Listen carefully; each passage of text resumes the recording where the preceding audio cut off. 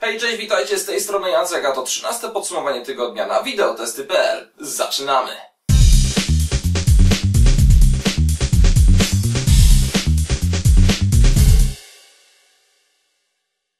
Więc czytając wasze komentarze, które przebijały się tak naprawdę przez wszystkie podsumowania tygodnia, zauważyłem, że nie za bardzo odpowiada wam taka forma, gdzie pokazuję filmy, które pojawiły się na YouTubie, bo przecież każdy może sobie wyklikać i, i zrobić to szybciej niż ja paplam przez te wszystkie odcinki.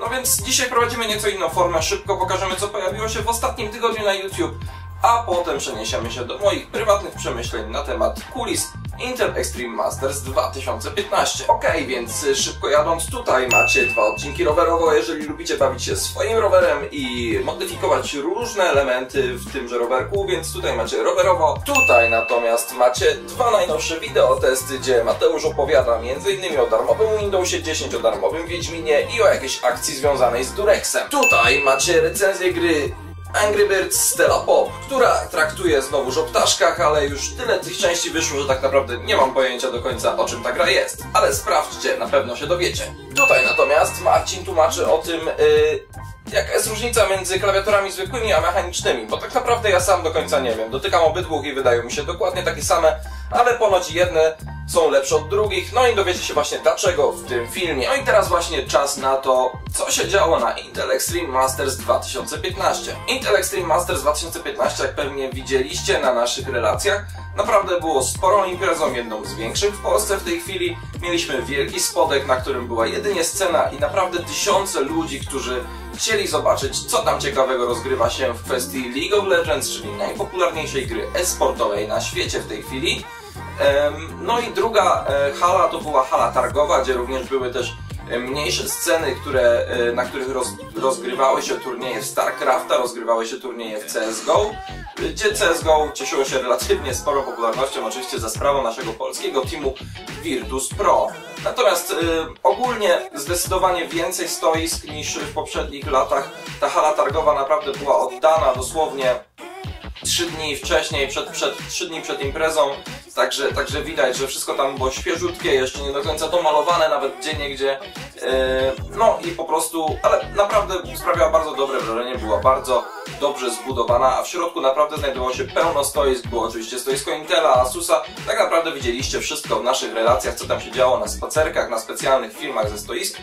E, no, ale tak naprawdę chciałbym wam powiedzieć też trochę od tej drugiej strony, co się działo, jak to wyglądało w kwestii organizacyjnej. No, więc e, generalnie nie wiem, czy Mateusz już wam pokazywał w jednej z jakichś odcinków z relacji, ale mieliśmy takie oto identyfikatory, może nawet je przybierze do kamery, takie oto identyfikatory. Mieliśmy e, na Intel Extreme Masters, prasa dostawała takie, zresztą nie tylko prasa, bo też VIP, po prostu takie kartki, do, takie, takie karty dostępu dostawali wszyscy, którzy nie byli zwykłymi graczami, którzy po prostu przyszli w niedzielne popołudnie na imprezę. I teraz tak. Tutaj znajdują się numerki. My mieliśmy 5, 6, z drugiej strony 2. I o co tutaj chodzi? Chodzi tutaj o to, że kiedy przechodziliśmy z jednego punktu do drugiego, y, były pewnie takie przejścia techniczne, gdzie nie do końca każdy miał wstęp. No i my też nie, dlatego że na przykład nie mieliśmy tutaj jedynki, albo nie mieliśmy tutaj czwórki, no i naprawdę poczułem się tak naprawdę jak w RPG-u. Dzień dobry, chciałbym tutaj przejść. Nie możesz przejść. Nie masz odpowiedniego levela. Musisz zdobyć level siódmy, aby dostać się tutaj. Dobrze, to idę pod Expitch. No i tak mniej więcej tak naprawdę to wyglądało. Mm, nie wiedzieliśmy co ze sobą zrobić, bo nawet takie głupie przejścia w stylu z jednej hali do drugiej, czy nawet przejście techniczne, wyjście na dwór było czasami dla nas zablokowane, bo my mieliśmy tylko wstęp do e, pokoju prasowego i do e, pokoju graczy, progamerów, i tak naprawdę wszelkie przejścia techniczne były dla nas zablokowane, co było bardzo smutne, bo nie mogliśmy pracować tak naprawdę. Także to jest pierwszy taki trochę minus tej organizacji. Drugi minus, druga taka rzecz, której pewnie nie było widać na relacjach, to kulisy jakby, takie kuluary, miejsca prasowe, gdzie mogliśmy się e, rozsiąść, gdzie mogliśmy sobie tam e, porobić różne rzeczy, pomontować, powrzucać, co zresztą robiliśmy, bo montowaliśmy już na Intel Extreme Masters bezpośrednio pewne rzeczy. Natomiast centrum prasowe było dostępne nie tylko dla prasy, ale było też dostępne dla VIP-ów, dla gości, dla jakichś klientów premium, dla wystawców, to akurat nie było takie złe w przypadku wystawców i dla youtuberów. Ja oczywiście do youtuberów nic nie mam, ponieważ sami działamy na YouTubie i widzicie, że to jest główny kanał komunikacji dzisiaj. No, ale ludzie, którzy nie, nie zajmują się pracą, nie muszą montować, nie muszą latać ze sprzętem, po prostu tam cały czas kręcić i tak dalej, e, przeszkadzali tak naprawdę tym, że kłę- pałętali się tam, gdyby sami się pałętali, to oczywiście nie byłoby problemu, ale dobrze wiecie jak to jest z najpopularniejszymi youtuberami.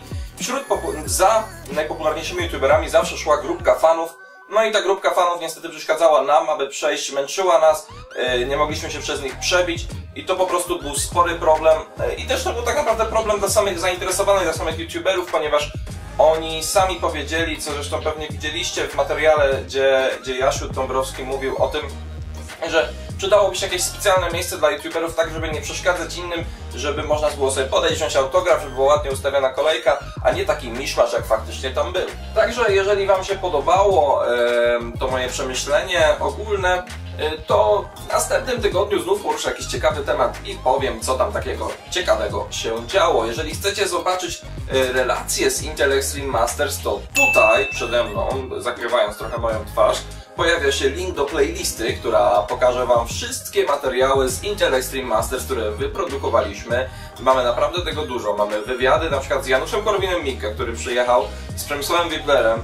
E, mamy wywiady z ludźmi ze stoisk, mamy wywiady z ludźmi, którzy tam po prostu przyszli. No mamy wszystko, wszystko, wszystko. Cosplayerki, no po prostu co sobie zamarzycie, to tam będzie. Raj dla graczy. Em, No, także jeżeli podobała Wam się taka forma, e, to zapraszam Was do subskrybowania. Tutaj e, macie subskrypcję, przycisk subskrypcji i zapraszam Was do następnego tygodnia, e, gdzie znów poruszę w podsumowaniu tygodnia jakiś ciekawy temat, no i oczywiście streszczę, co ciekawego działo się na wideotesty.pl. Trzymajcie się, cześć!